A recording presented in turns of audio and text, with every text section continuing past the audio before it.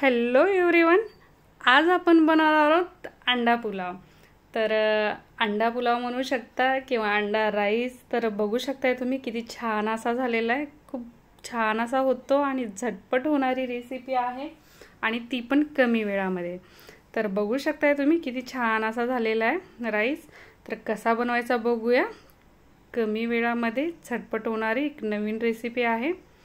तर पूर्ण व्हिडिओ नक्कीच बघा. तर कुकरमध्ये तेल टाकून घेतले. जसं आपण बिर्याणीला किंवा खिचडीला तेल घेतो तसं थोडंसं जास्त घ्या.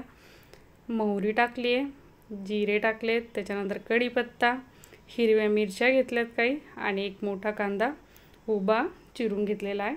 आणि अद्रक लसण त्याची पेस्ट घेतली आहे आता मसाले एकदम छान असे ब्राऊन झाले पाहिजे.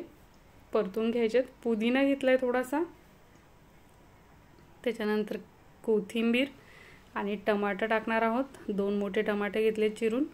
ते टाकून घ्या. आणि गरम मसाला घ्यायचा आहे. खडे मसाले वाटून घेतलेत मी. जसं की मिरे विलायची लवंग दालचिनी. आणि नंतर मीठ टाकायचे हळद टाकायची. आणि तिखट जर चांगलं झणझणीत हवा असेल तुम्हाला तर लाल तिखट पण टाका थोडंसं. तर मसाले छान परतलेत बघा. तर आता त्याच्यामध्ये आपण अंडे टाकून घेणार आहोत.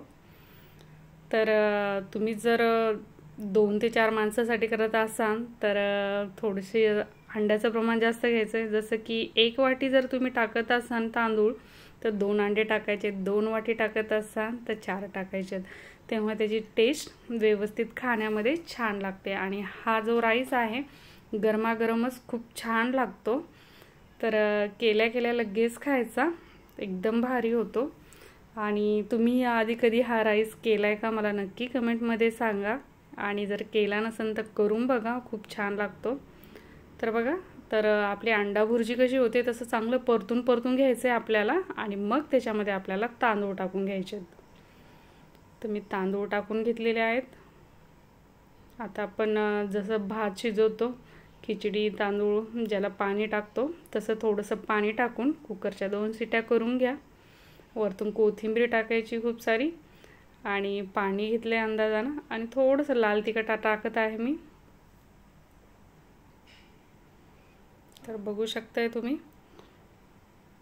झालं आहे आता आपण कुकर बंद करून घेऊया आणि दोन सिट्ट्या करून घेऊया. तर एकदम झटपट होणारी रेसिपी रेडी झाली आहे बघा. तर अंडा राईस आपला रेडी आहे. तर रेसिपी जर आवडली तर लाईक करा जास्तीत जास्त शेअर करा आणि चॅनलवर जर नवीन असाल तर सबस्क्राईब करा. माझा पूर्ण व्हिडिओ बघितल्याबद्दल थँक्यू परत भेटू एक नवीन रेसिपीसोबत बाय बाय